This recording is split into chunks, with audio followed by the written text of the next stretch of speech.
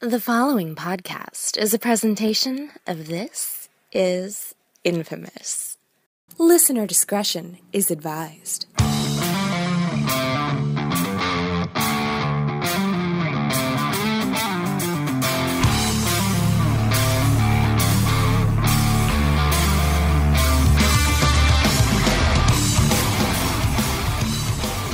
Welcome to Just the Worst Wrestling Podcast, episode number 27 to be perfectly precise. I'm your host, Billy Donnelly, who you can find at joblo.com. This is Infamous, and right here at Just the Worst Podcast. And as the show title dictates, well, we talk wrestling, sports entertainment, whatever it is that you want to call it. That's what we discuss. That's what we break down. That's what we opine about week in and week out. And this week, well, that's no different because otherwise we'd have a completely different show on our hands.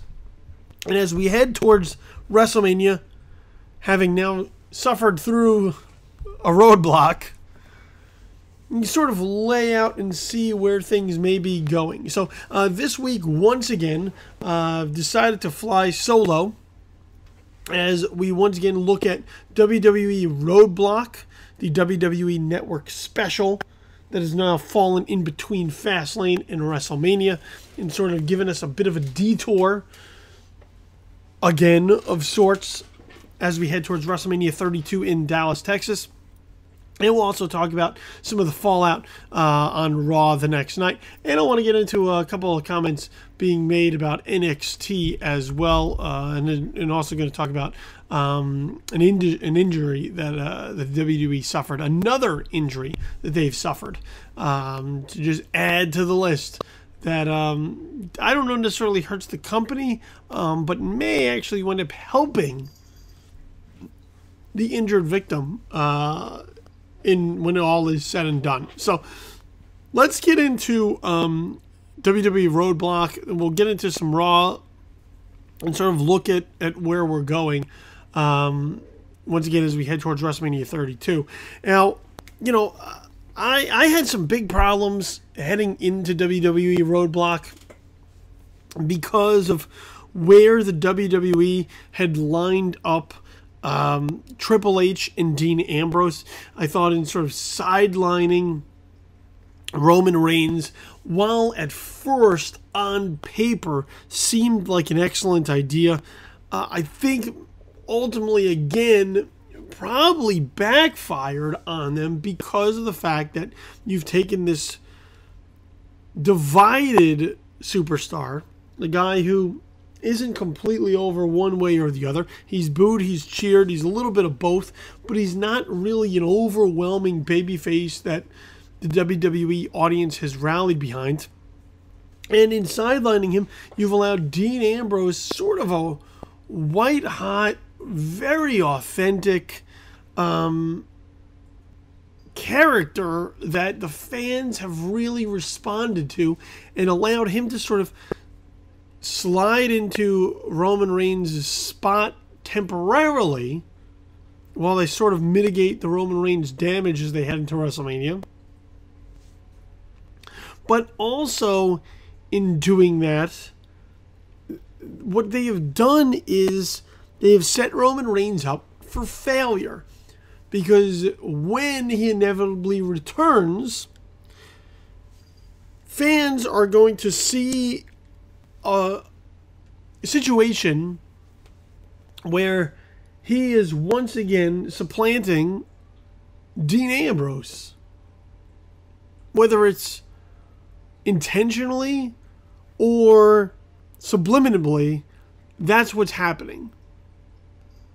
The fans look at that and they say, oh, look, our guy is being pushed out again. Let's once again rage against the Roman Reigns machine because that's not the guy we want. We want this other thing. And between WWE Roadblock and the night after at Monday Night Raw, once again, it was clearly on display the very large issues the WWE has created for themselves in trying to book Roman Reigns as a babyface heading towards WrestleMania. Now I said I was going to focus on Roadblock, but I'm going to I'm going to sort of span both shows here to once again illustrate where the WWE has gone wrong with Roman Reigns. They think they're doing the right thing, but what they're really doing is sending messages to the fans as to exactly why they should be booing this guy. Exactly why.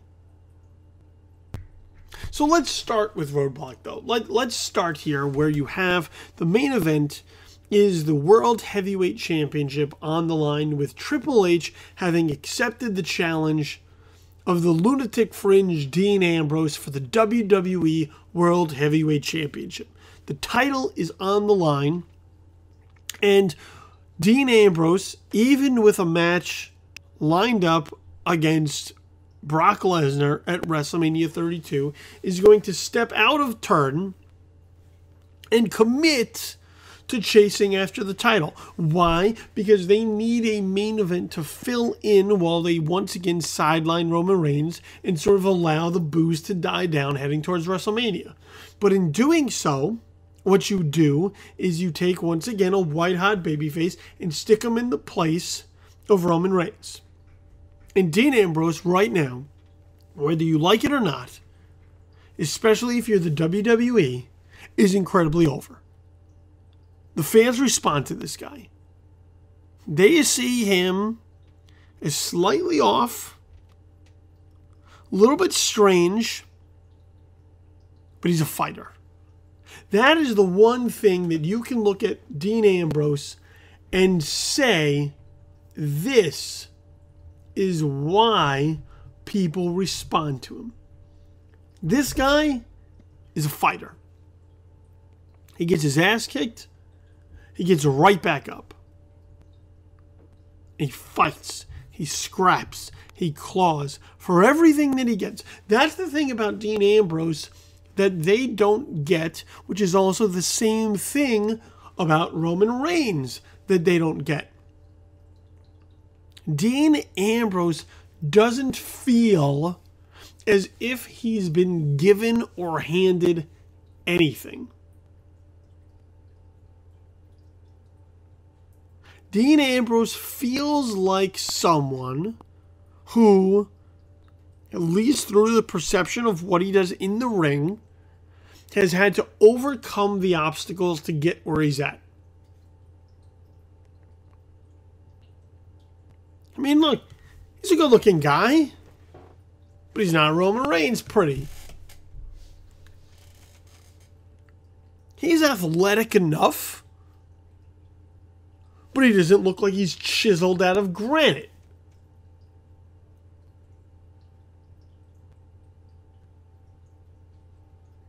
He is a guy who comes to the ring in jeans and a wife beater slash tank top, ready to go, ready to fight ready to do whatever it is, whether it's rake the eyes, bite a forehead, headbutt somebody, throw an awkward elbow off the top rope. There's a number of things that he is willing to do in order to get to where he is. And as a result, the fans respond to that. So you stick him in a match against Triple H, who you're trying to get some sort of heel heat on as you head towards WrestleMania, because you don't want to go into WrestleMania 32 with Triple H being booed. I mean, being cheered by the smart fan base, and Roman Reigns being booed. It doesn't come across well on television. The group think starts to set in where people look at this and they go, uh, I don't know then about this Roman Reigns guy. So you're sort of pissing in the wind if you're the WWE. So once again, they stick a babyface against Triple H in the hopes that here we can get some heat on him. And maybe even if they don't want to cheer Roman Reigns because they like him, maybe they'll cheer Roman Reigns because they hate Triple H that much. That's the idea. On paper, you can look at that and say, that kind of makes sense. But once again, when you look at the way that this whole thing has been laid out, they have been one step off at every turn with what they should have been doing to help Roman Reigns get over as a babyface. Once again, let me get into Roadblock and we'll get into Raw the next night because these are two perfectly glaring examples of how the WWE's missteps, how just being slightly off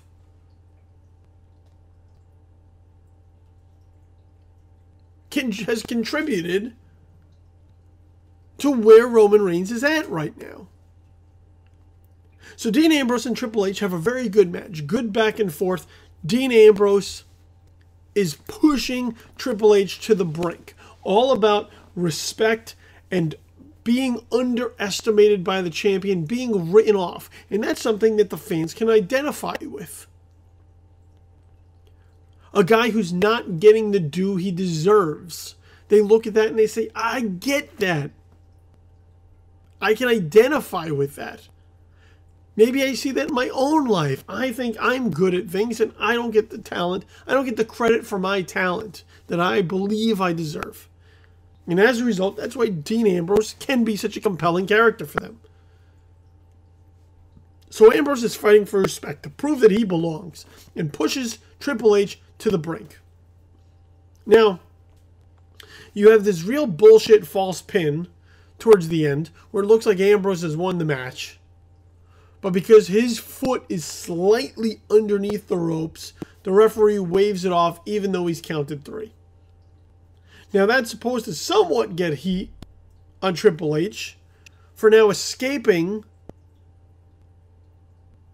through sort of bullshit means with the title here. but ultimately, it doesn't really fall on him. It falls on the referee because he counted three and then immediately waves it off. It's just not a not a good transition, and then it's not explained very well, especially if you're live. So as a result, now you have a crowd that's vehemently and adamantly against sort of this swerve that basically then doesn't play well on television. The crowd is into now Dean Ambrose's chase. They feel like he's screwed. And once again, Ambrose is laying it all on, on the line. And Triple H emerges victorious. Hits the pedigree, takes out Dean Ambrose, gets a three count, and then that's sort of it. Now,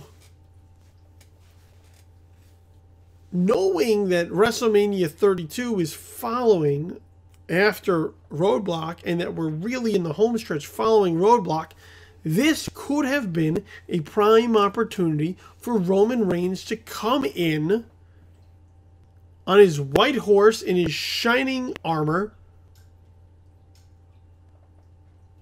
and been the knight, the babyface knight that the WWE universe might respond to.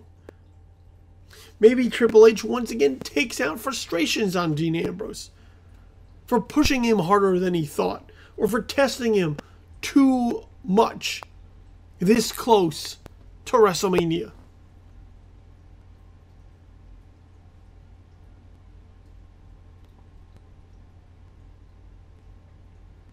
And from there, you can have Roman Reigns come down and provide the save on the guy people like. And now Roman Reigns is babyface by association. He's done something good, he's done something heroic in order to be declared a hero. But that doesn't happen on Roadblock. Triple H beats Dean Ambrose. They count three and we go home. That's it. The credits roll and we're out. A prime missed opportunity for Roman Reigns to be in a good spot. So now what happens? The next night on Raw, could this be the return of Roman Reigns? Could this be a chance for him to do something heroic? So let's break it down. So Triple H in the middle of the show, after Dean Ambrose has a confrontation with Brock Lesnar, it doesn't really sort of go anywhere, just teases the lengths once again that Ambrose will go to with Brock Lesnar by first introducing a crowbar and then later him being gifted a barbed wire baseball bat by Mick Foley. Not really touching on the night before. So now we're in full blown Roman Reigns mode. So Triple H comes out in the middle of the show and cuts the lengthiest promo. I mean, this is one of those stereotypical Triple H is droning on for 15 minutes, way too long segments. And in the middle, he is interrupted by Dolph Ziggler. Now, weeks ago, I said, and I, that Dolph Ziggler would be the perfect guy to line up against Triple H because of how over he is as a babyface in order to get severe heat on Triple H heading towards WrestleMania.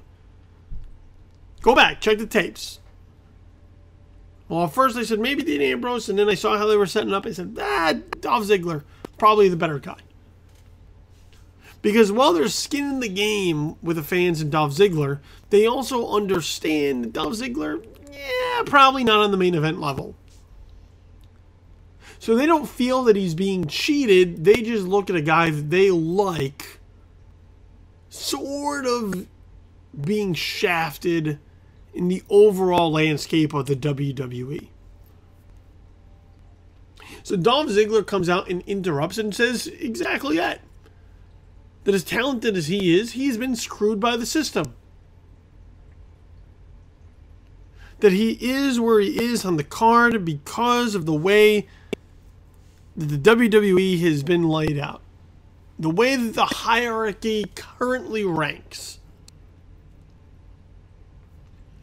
And he speaks very meta with the with the way that the wrestling fanboys slash IWC perceive Dolph Ziggler and how he's been quote unquote buried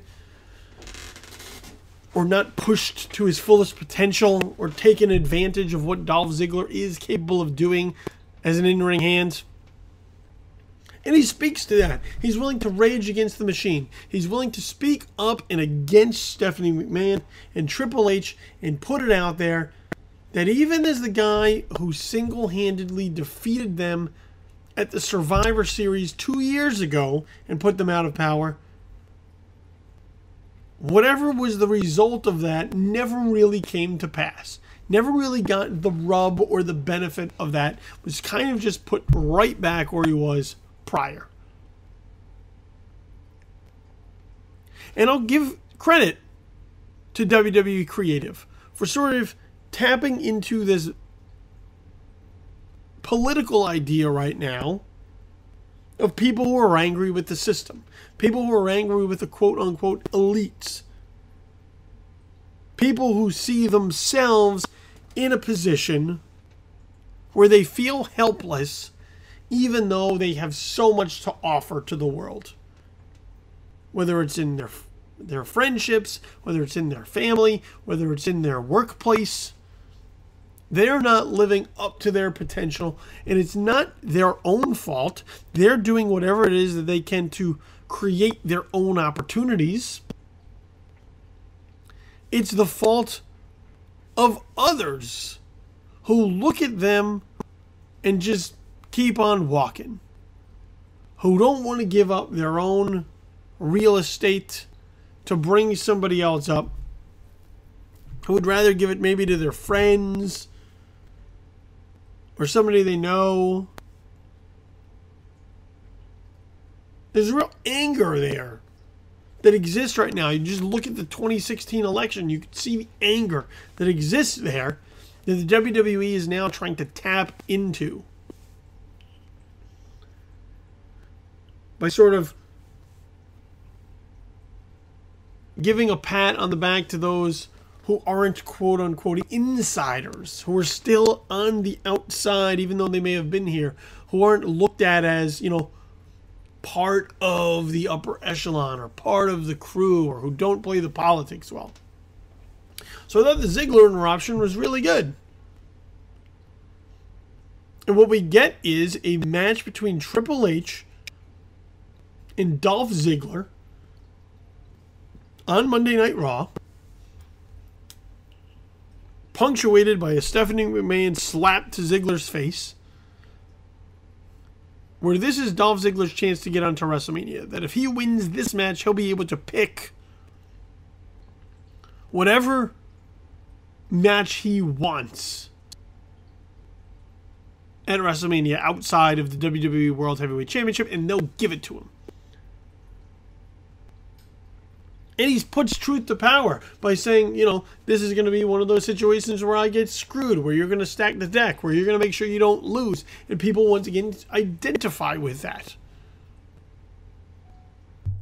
So the match is set Triple H versus Dolph Ziggler. And they look, it's a really good match. Triple H goes back to back nights and puts out really good performances here. And Dolph Ziggler is always good in these situations. One, he sells like crazy. Everything that Triple H does, Ziggler is able to make look like a million bucks because he sells well. He sells its impact. He sells its effect. He sells how much he is hurt by it. And he sells the underdog of Dolph Ziggler. That this is going to be an uphill climb. That this is going to be a tough feat for him to accomplish. That this is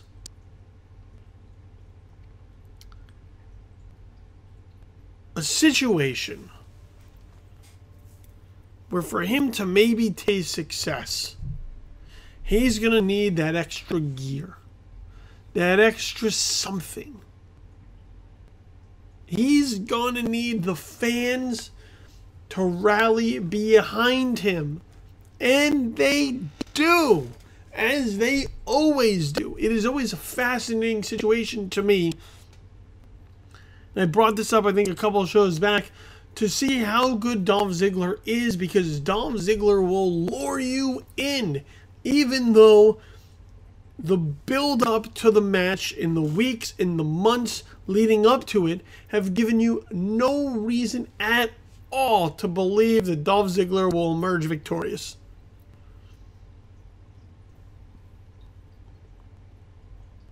But that's how good Ziggler is. He gives you the taste. He gives you a taste of uh, what if. They get you to believe only for them to pull the rug out from under you and make you feel like shit. And they do it here again. Triple H dominating Dolph Ziggler.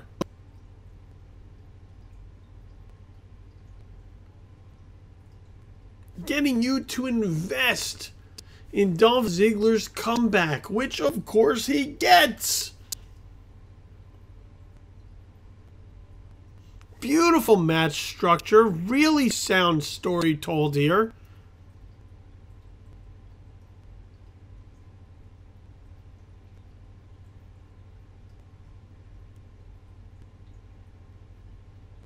This is when wrestling is at its best telling stories like this match.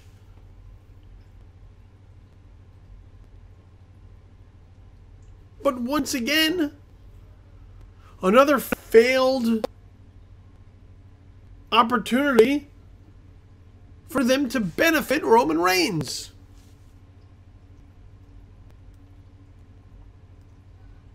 Why? Because Triple H wins the match with a pedigree. Cleanly. And that's it. Dolph Ziggler's chances of going on and having a match at WrestleMania are eliminated by Triple H's victory.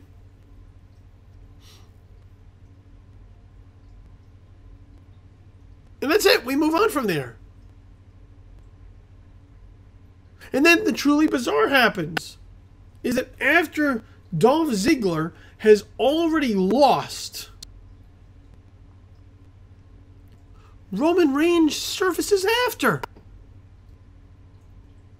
His music hits, and he comes out.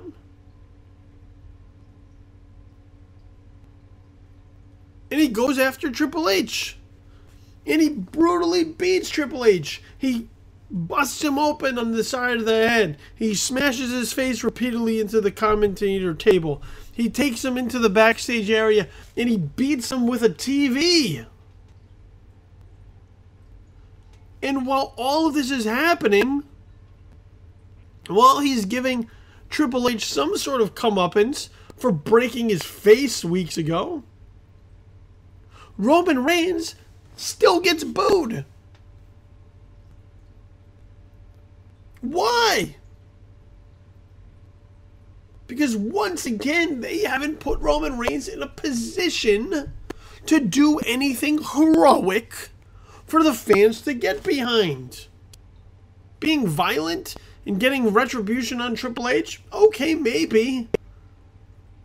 But the timing of it is all wrong because to do it following the loss of a beloved babyface who sees no benefit from Roman Reigns' return, how does that help your guy? Once again, two nights in a row where baby faces were in position that had Roman Reigns come out and helped them, he would have been cheered for his actions because they wouldn't have been selfish. They would have been selfless.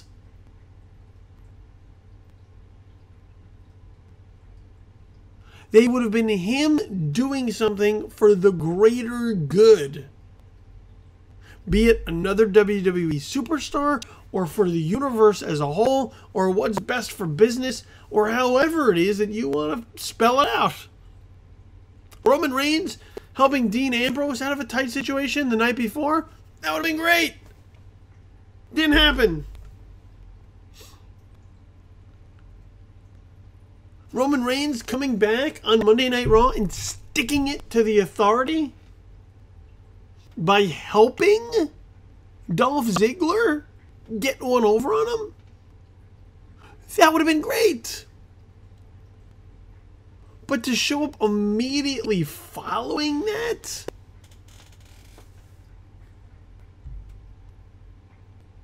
How does that help Roman Reigns?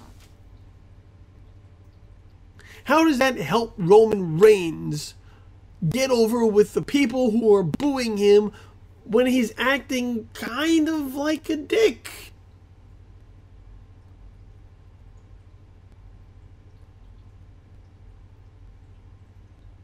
I'm just saying.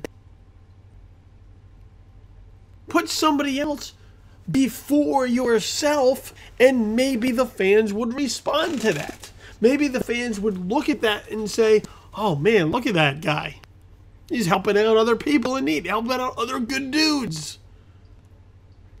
Let's cheer for him because he's also good.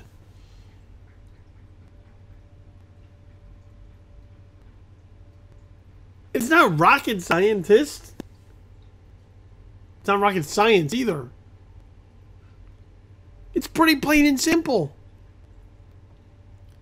You want to present this guy as a hero? Have him do heroic things.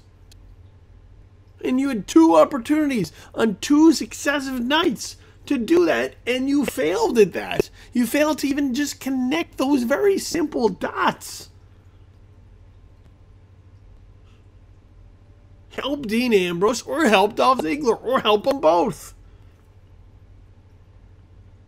Don't just come out on your own by yourself and say, "Well, this is this is how it's going to work."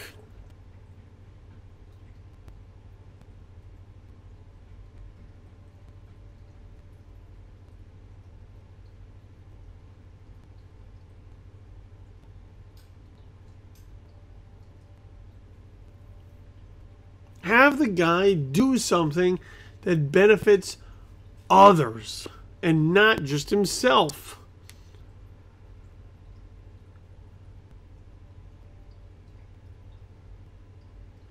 Because then to look at this and say, "Well, I don't understand why he's getting booed," I can tell you why he's not getting why he's getting booed, why he's not getting cheered. Assist those who are also getting cheered. Use that as a rub for yourself instead of being the loner who just does things by himself. Because then afterwards,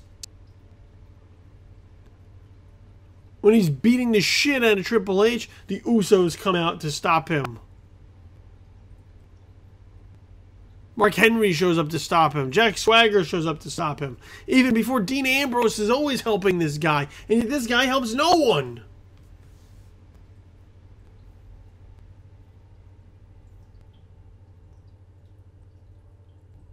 It's not that hard.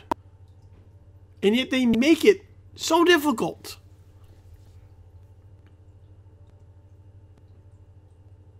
And you head towards WrestleMania with a main event that's split because you have a babyface challenging for the title or to get revenge that the people aren't really behind. They're not behind his revenge. They're not behind his chase for the title. And this is why. Because he hasn't done anything for people to look at and say, this is why I should root for him. Yeah, he's got a cool look. And a couple of cool moves.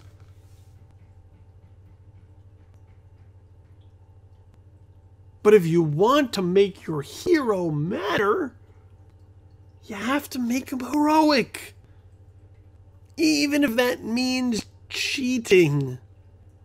As long as he's helping other heroes, that makes him heroic.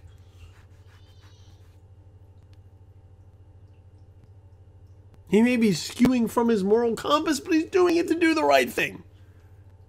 He's not breaking the rules, he's bending the rules. You know, it's amazing how much time we spend on these podcasts talking about how badly they have mishandled Roman Reigns. Because you could look at it and say, yeah, that's it. Billy, you nailed it.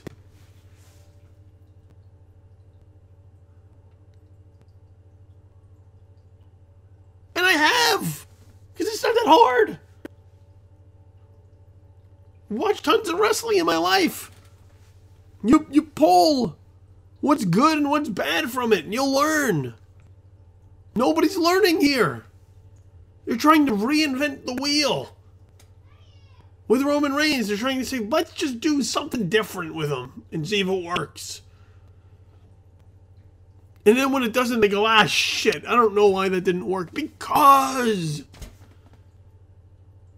you left the path and you paved for yourself.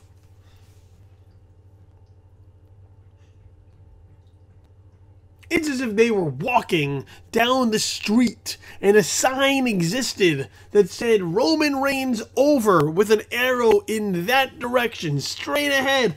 And they said to themselves, fuck it, let's just take a right.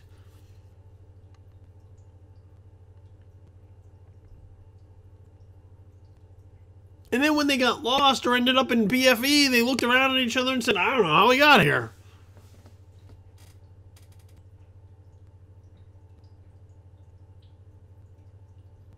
It's not that hard. Quit making it so goddamn hard.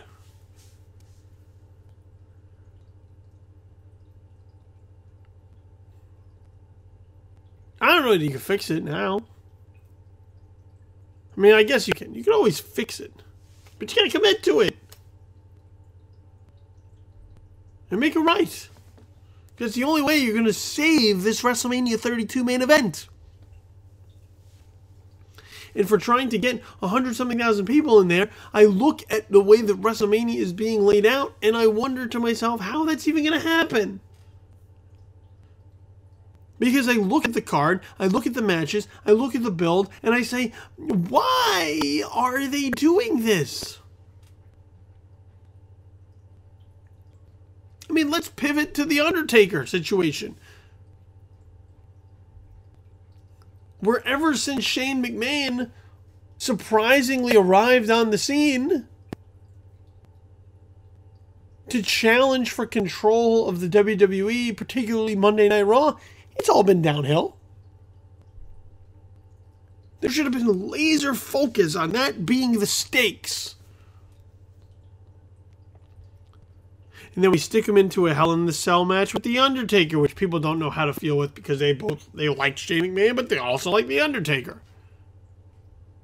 We have this weird Vince McMahon promos where he's getting hard on about disowning his son.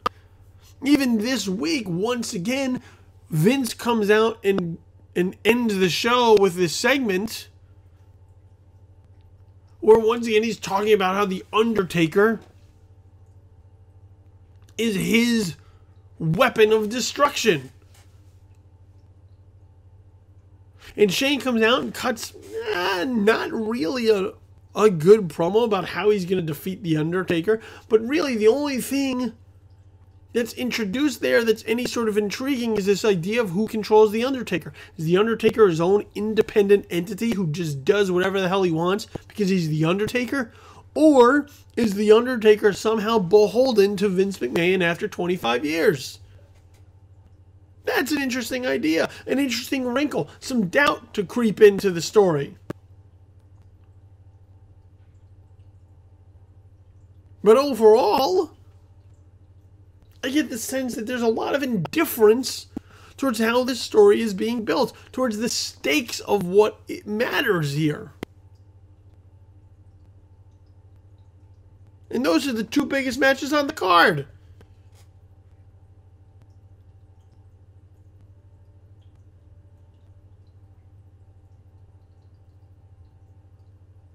You got work to do, fellas. Work to do hard work to do as you get things ready for WrestleMania. And look, I'm rooting for you. For every year. Every year I go to WrestleMania, and every year I go, eh, I don't know, and then they put out something pretty amazing. Surprisingly amazing, actually. But in these situations, going in, I I'm not sure because what they've done leading up to the night of hasn't been too on point. Get on point. Get your shit together. Cuz right now it's it's all over the place and it shows. Now I will say, I will give credit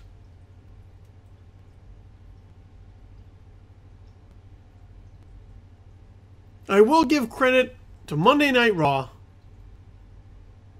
for the opening segment. Because it wasn't a main event promo, a lengthy 15 to 20 minute promo. We got a little bit of a promo first from the New Day. But then we got a New Day versus League of Nations tag match, which I'm not crazy about because League of Nations doesn't do shit for me. And this is also sort of the first time they've really acknowledged the Freebird rules as far as the three man New Day team and who can defend the titles. But you also have the New Day attacking, or the New Day being attacked four on three and being laid out. Now, the one thing I would say to that is why is there no babyface coming in to save the New Day? And I guess it's also because the New Day is sort of a tweener. They've been heelish for a while. Now they're starting to skew babyface because the fans have embraced them. But at the same time, saving the New Day and also getting beaten down by the League of Nations would do good to getting somebody over. Once again, they have a roster right now that's not very over. And they need to get them there.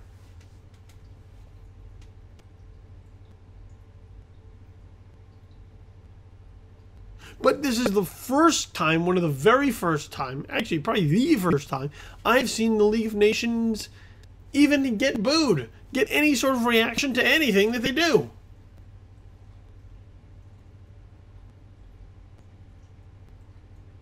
Number one, it's nice to have a different opening segment. And number two, it's nice to finally have this group get some sort of heat on themselves.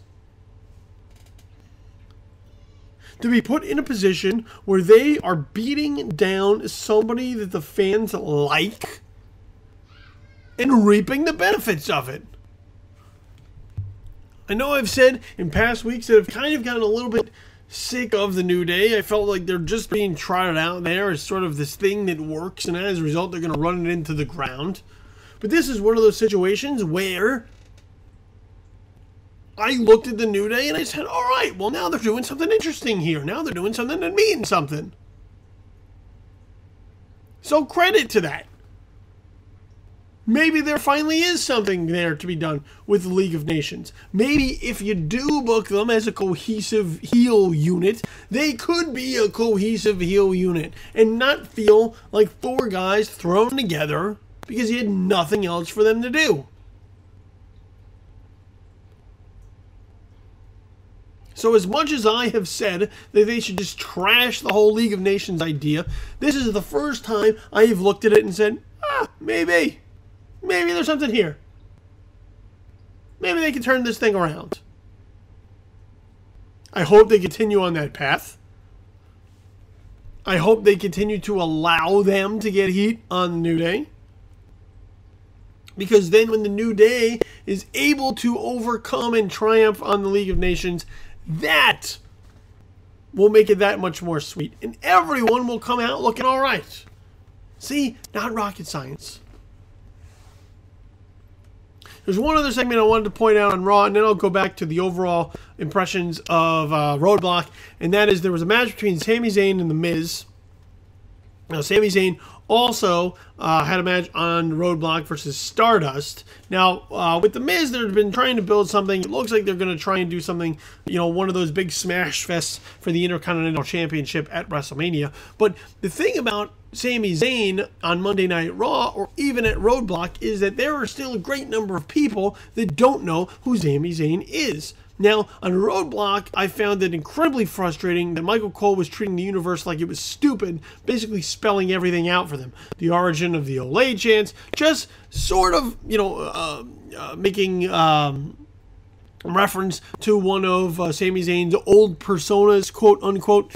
Uh, and, and spelling things out for them in such an obvious spoon feeding way, which I wasn't a fan of. But at the same time, the WWE Universe as a whole don't know who Sami Zayn is. People who watch NXT regularly, those fans know who Sami Zayn is. But if you're the casual WWE fan who you just watch Monday Night Raw, maybe you catch a minute or two of SmackDown, but that's about it. You don't know who Sami Zayn is. And Sami Zayn showing up in the Royal Rumble was a cool moment. The live audience in Orlando went popped hard for it. But if you were watching it at home and you weren't familiar with Sami Zayn, you'd be like, uh, I don't understand what the big deal is. Who is that guy? Same thing with now Sami Zayn showing up regularly on Raw. Last week he comes out and he attacks Kevin Owens. But once again, there's no context for that. Even now, Michael Cole, you know, makes reference to past issues that he's had with Kevin Owens, but they don't show it. Show, don't tell. You have NXT footage at your disposal. Show it. Show Sami Zayn's feud with Kevin Owens. Give people an understanding of their backstory and why they hate each other so much. And instead of trying to hit the ground running that people are already caught up, show them. Put together a package. Do it for other people, but show them why Sami Zayn is a big deal. Show why Sami Zayn confronting Kevin Owens is a big deal. Get into the meat and potatoes there of what has happened so that people can say, oh, I understand now. That makes sense on top of that, if this is Sami Zayn's like second week on the main roster, don't interrupt his matches or his entrance with commercials or flashbacks to what happened last Monday. Give him the whole thing so that if you're there, you get into it. And if you're watching on TV, you get a feeling for who he is. Or as they the WWE so easily described on the Breaking Ground series, give people a visual to want to be, to want to copy, to want to mimic. Because if you're not going to give vignettes that this guy is coming, then at least build up importance for why they're there. Those are my comments on Sami Zayn. I love Sami Zayn. I do. A great deal. But you got to put them in a position to once again succeed, or else they're going to look at it. They're going to see that the fans are indifferent. They're going to throw their hands up and say, "See, another NXT guy didn't work." Well, when you don't give them a chance to work, when you sort of tie their hands behind their back as soon as they come up and they throw things in passionate plea, then yeah, they're not going to work. One other note out of Monday Night Raw, and then I'll get into Roadblock, and that is that uh, Adrian Neville was injured. Appears he may have suffered uh, fractures in his lower leg. He will be out at WrestleMania and beyond. The timetable yet uh, is unknown because no one knows quite the severity of what has taken place. But as a fan of Neville, it is sort of upsetting for him to sort of go down like that. Um, maybe this benefits Neville. You know, the fans have gotten their taste of him on the main roster. They know who he is, and as a result, they're excited.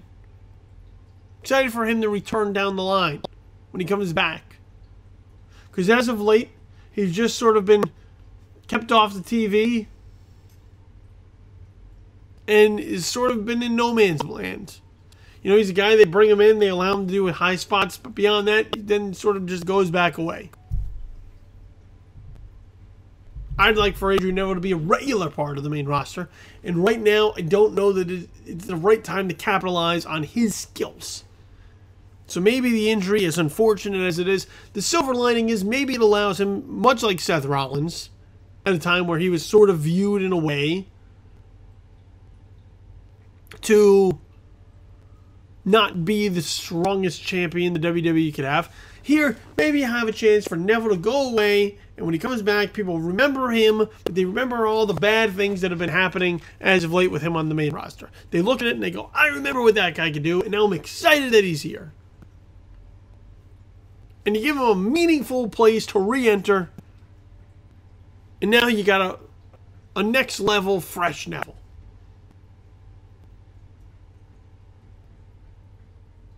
So I hope his recovery is swift.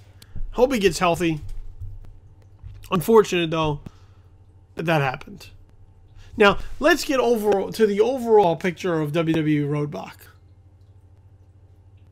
That we've been sort of skirting around for great portions of the show. The show overall, pretty underwhelming. Pretty underwhelming. I mean, it's a house show. It's a house show in Toronto that they didn't decided. Let's sort of play up for the WWE Network in between Fastlane and WrestleMania, and eh, you know we'll give people a reason to watch. But you look at the matches that were laid out on the card, and look, if you were to go to the live event, if you were to go to a house show, if you were to have gone in Toronto to this show on your Saturday night and watched it, you might have been fine. You might have looked at it and just been like, I just feel like watching some wrestling. The problem is the perception that comes from this, which is that it's televised. And if it's televised, the WWE tries to make it that it means something.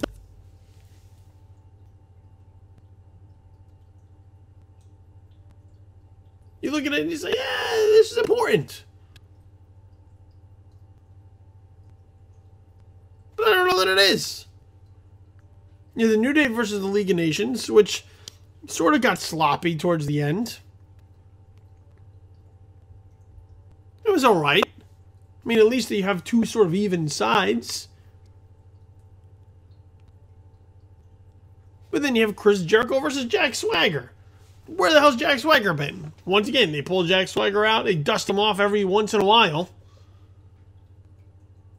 You have a really great Jericho heel promo on the home Canada audience. But you also have a, a situation where Jack Swagger's world title is recalled, which once again just reminds us of how far Jack Swagger has fallen to be in the position that he's at right now. It also calls into question the timing of the Chris Jericho turn on AJ Styles, because if Chris Jericho is going to go to Canada and be on TV where he's going to get a hometown reaction, how does that help him? How does that help get him and, and AJ Styles over in a feud with Chris Jericho as the heel? Also, might I add, uh, JBL might be one of the most annoying announcers ever. Period. Just, just top to bottom. Raw, Roadblock, pay per views doesn't matter. Can't take it. I, I'm, I'm, I'm, I'm really. I can't. I, I just can't anymore. I used to try. Now he speaks, and my ears just want to like close. They're like, like I can't listen to this bullshit anymore. You know, so you have something like that. You have Sami Zayn versus Stardust, which the crowd's just not feeling because once again, Stardust, where's he been? And they're getting time to work. It's like a two and a half hour show, so they're getting time to work. But when it's put on TV, you want there to be something to invest in. Something to feel like it's consistent with the rest of television. And it just didn't. Charlotte versus Natalya for the Divas title just didn't work. It's really weak finish. Natalya's no selling the figure eight. Kicks out a natural selection. How does that help Charlotte become a monster champion on the path to WrestleMania? Doesn't. Brock Lesnar versus Bray Wyatt doesn't really happen. Bray Wyatt is, I believe, injured, so he's sort of got. He's sort of, you know, being put out there, but protected. So you get a Brock Lesnar squash over Luke Harper, which feels like a bait and switch. You're watching it on TV, you feel gypped considering that the way that they started to promote Lesnar and Wyatt. So you have a number of matches here on the card that just they don't do anything. You look at them and go, if I was there, it would have been all right. But to sit on my couch and watch it at home, uh, this isn't all that exciting. The one match, though, that I will say stands out from the entire card is Enzo and Big Cass versus the Revival for the NXT Tag Team Championship.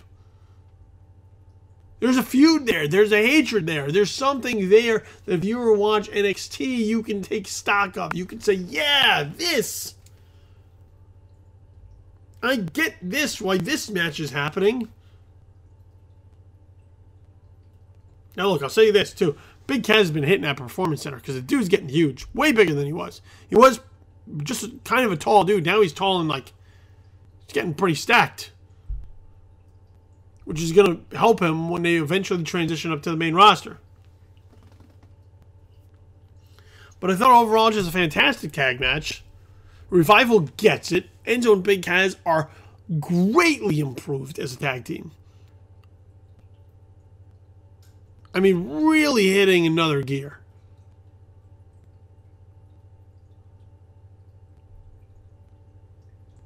Really good. So, fantastic match that I found was hurt by the commentating. Because you have Byron Saxton's there, who's familiar with NXT, but once again, you have Michael Cole and JBL, who, you know, it's not their main focus. Their main focus is the main roster.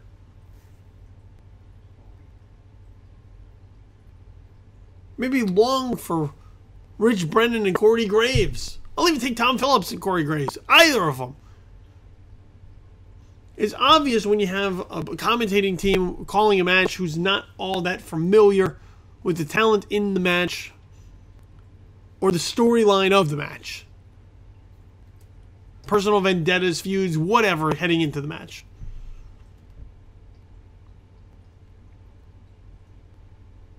And maybe, maybe miss the NXT team calling it. I think the match would have been better served. As good as it was in the ring, I think just the overall package was sort of lacking because of the commentators. So overall, you look at WWE Roadblock, and it just it's just kind of there. I thought Beast in the East was much more exciting. It has a much more unique presentation to it.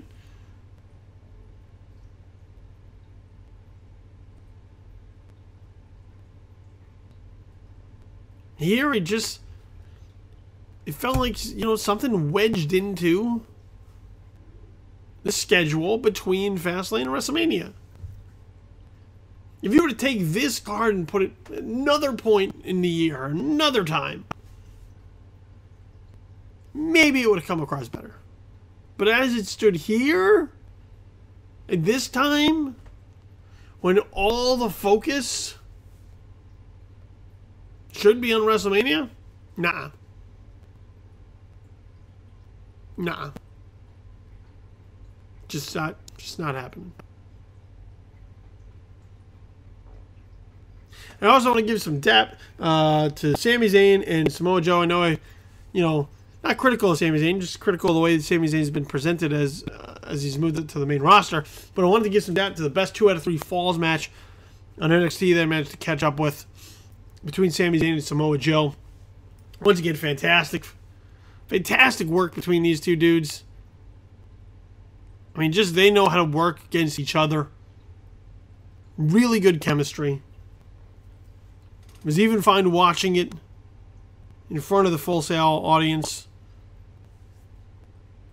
primarily because I was really into what they were what they were doing.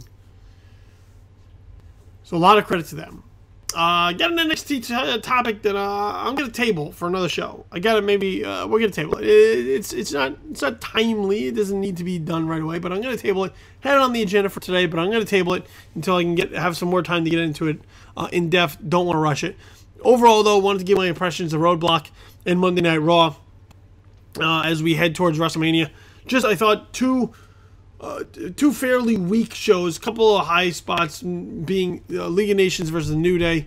Um, you know, uh, Dolph Ziggler. I'm really curious to see what's happening with him because it feels like post WrestleMania, there's a spot here for him to do something fantastic. There's a spot here for him to capitalize and maybe, maybe try to elevate Dolph Ziggler up to that next level that people have been hoping that he would hit in recent years.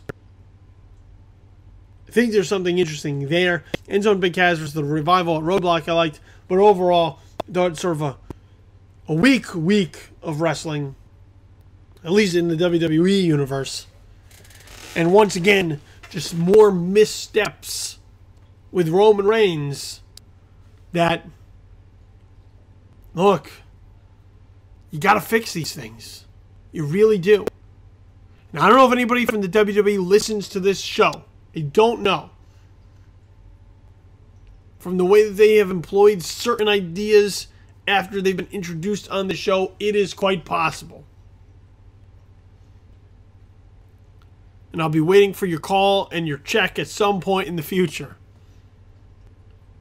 But if you are out there and you are listening to this show, please heed this advice. If you want Roman Reigns to get over is a heroic, white hot babyface. You need to have him do something heroic and selfless for other hot baby faces. That's my advice. Please take it. Your WrestleMania may depend on it. And that's it for this particular show. So I want to thank you guys for making it all the way to the end. I want to thank you guys for downloading, streaming, tuning in, listening, and greatly appreciate the support. Please make sure that you go ahead and you follow us on social media, okay? hit up the Just the Worst podcast Twitter handle. It's the official one at JTW Podcast. Every time we get a new show up and running, we'll post that it's there, notify you as long as you follow us on Twitter.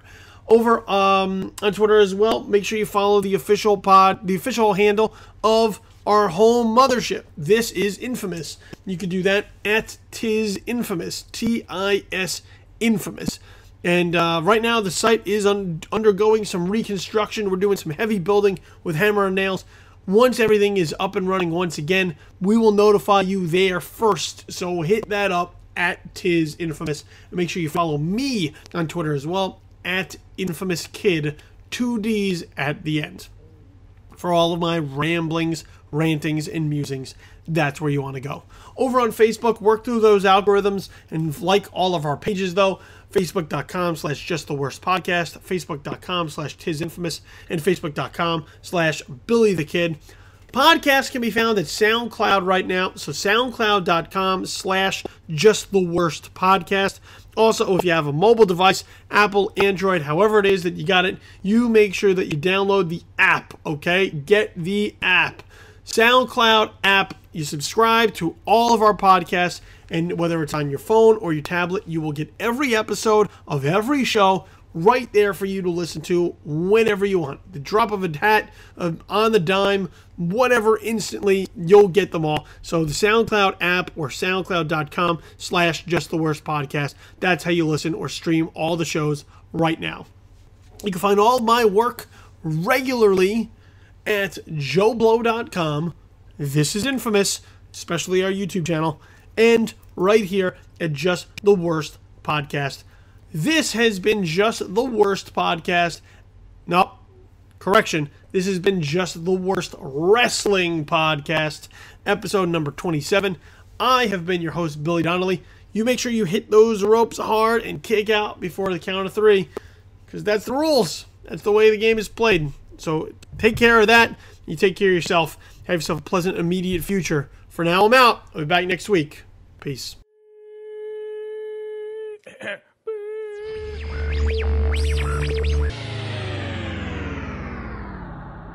Just the Worst Wrestling Podcast, episode number 27, has been a presentation of Just the Worst Podcast Media